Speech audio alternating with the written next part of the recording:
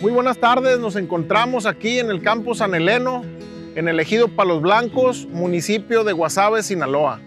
Y estamos aquí con nuestro amigo y agricultor Jesús Sotovalle Favela. Quisiéramos saber cómo le fue este año, qué, novedades hubo, qué le gustó, qué le hizo batallar esta temporada.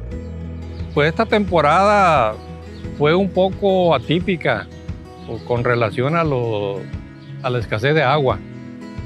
Estuvimos batallando un poco, afortunadamente aquí en el campo tenemos un pozo, eh, lo que nos eh, facilitó dar el cuarto riego y no, no, no, tuvimos problemas por, por, cuestión de agua. Tenemos 15, 20 años sembrándola.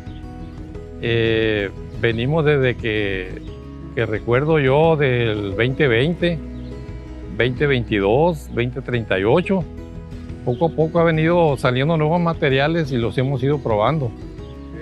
Y hasta la fecha no nos han quedado mal. Eh, son muy estables y es lo que nos ha gustado de la marca.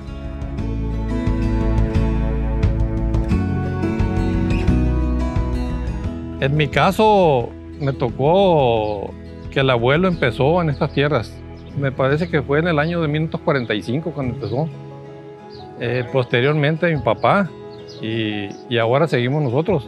Hemos ido cambiando un poco la, manera de hacer la agricultura.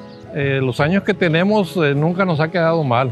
Todo el tiempo hemos salido bien con la ayuda del distribuidor. Lo recomiendo a los, productores que, que lo sigan sembrando y el que no los ha sembrado, pues que lo, que lo pruebe para que vea que, que sí, no, no tiene ningún problema.